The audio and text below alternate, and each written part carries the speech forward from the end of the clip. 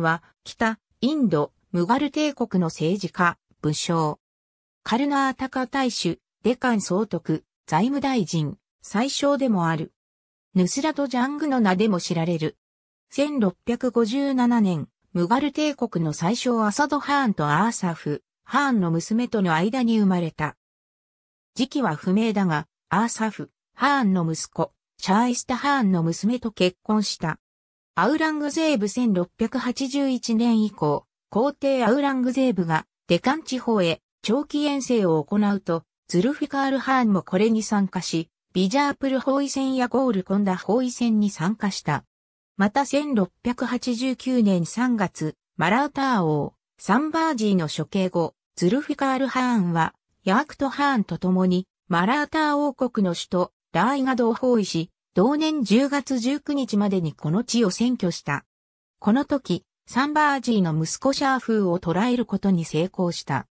だが、サンバージーの弟で、マラーター王のラージャーラームがラーイガドを脱出し、同年11月に南インドのシェンジに逃れた。ズルフィカール・ハーンはこれを追い、翌1690年4月にパンハーラーを落とした後、このシェンジを包囲し、籠城するマラーター軍と戦った。1692年4月、ズルフィカール・ハーンはアウラングゼーブの命により、南インドを統治するために新設されたカルナータカ大主に任命された。その主婦は、シェンジからさほど遠くないアルコットに置かれたが、ズルフィカール・ハーンは、シェンジで包囲の指揮を取った。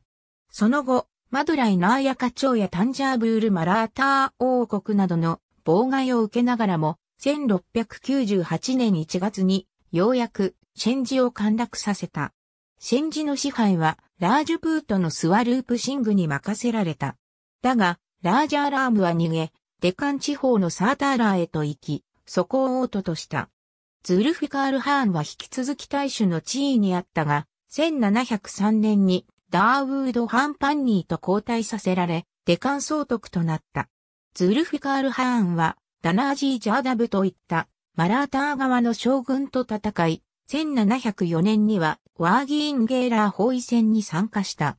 1707年3月、アウラングゼーブが死亡して、帝国軍が引き返した後も、ズルフィカール・ハーンは、デカン総督の地位にあったが、1710年に、ダーウード・ハンパンニーと交代させられ、デリーへと戻った。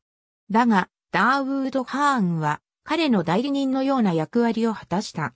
ジャハンダールシャー1712年2月、帝国の皇帝バハードルシャー一世が死亡した後、4人の息子らの間で帝位をめぐって争いが起きたが、ズルフィカール・ハーンは、上司ジャハンダールシャーを支援した。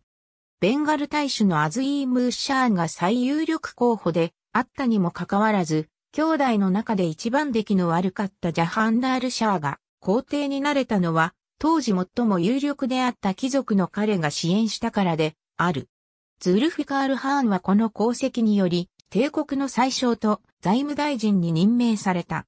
また、彼は、敗者の側についた多数の貴族を財産没収にするかあるいは処刑し、宮廷での自身の立場を確保した後、帝国のために奔走した。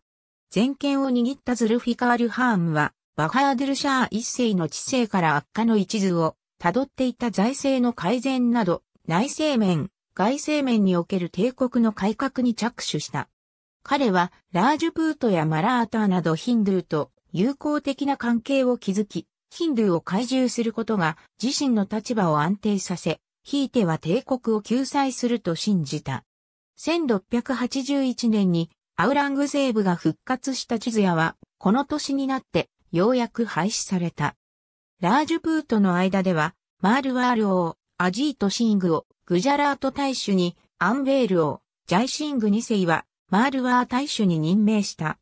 これにより、グジャラートとマールワーが、ラージュプートの支配下に置かれることとなった。マラーターとの間では、1711年に、ズルフィカール・ハーンが結んだ私的な取り決めを、代理人ダーウードをハンパンニーに再確認させた。その取り決めでは、マラーター王国にチャウタとサルデーシュムキーを認めていたが、それは帝国の管理が徴収し、マラーター側に渡すというものであった。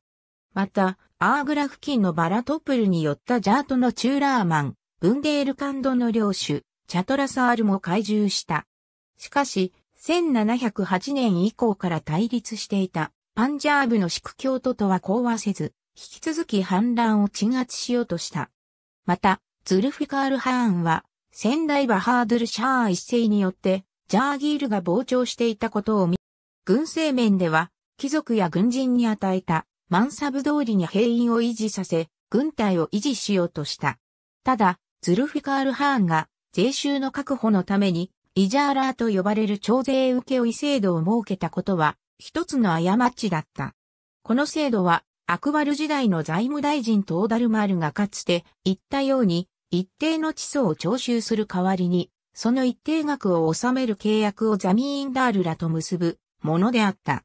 ズルフィカール・ハーンはこの制度で、ザミーンダールらに絞れるだけ絞ることを許したため、農民たちはさらに搾取され、より一層の苦しみを与えることとなった。ラール君はアル・ズルフィカール・ハーンが精力的に活動する反面、バカで無能な皇帝ジャハーンダールシャーは怠惰な生活を送っていた。彼はズルフィカール・ハーンに全幅の信頼など持たず、嫉妬深い貴族たちもまた影で同様に反抗していた。そういった貴族らは、ズルフィカール・ハーンが野心を抱いており、彼が帝権を脅かすなどと残言を言い、ジャハーンダールシャーはそれらに恐怖するありさまだった。臆病なジャハーンダールシャーは、強大な最小ズルフィカール・ハーンを解任することはしなかったが、ついにはその追い落としを考え、密かに陰謀を巡らすほどだった。ビッパンチャンドラは、健全な統治にとってこれほど有害なことはなかっただろうと評している。また、ジャハーンダールシャーは、長年連れ添ってきた銀融学士の娘ラール・クンワールという女を聖妃とし、その一族を徴用した。